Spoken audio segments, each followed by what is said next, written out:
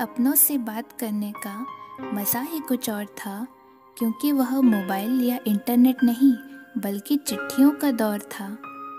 चिट्ठियों के कारण पहले लोगों में रिश्तों का मोल था, ना कि आजकल की तरह हर जगह हल्ला बोल था।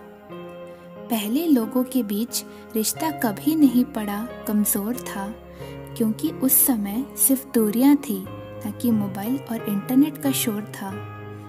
पोस्ट कार्ड सिर्फ़ एक कागज़ नहीं, यादों का पिटारा हुआ करता था। लिखने के लिए जगह कम पड़ जाती थी, पर मन नहीं भरता था।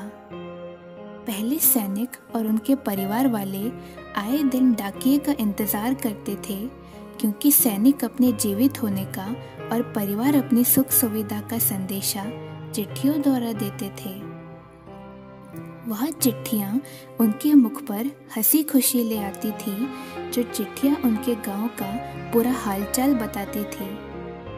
जहाँ मोबाइल के टावर्स नहीं पहुँच पाते, वहाँ चिट्ठियाँ पहुँच जाती हैं। यही चीज़ें तो चिट्ठियों की अहमियत बताती हैं। पहले चिट्ठियाँ लिखते लिखते हाथों पर स्याही लग जाती थी। पहले चिट्ठियों से लिखने वाले की खुशबू आती थी।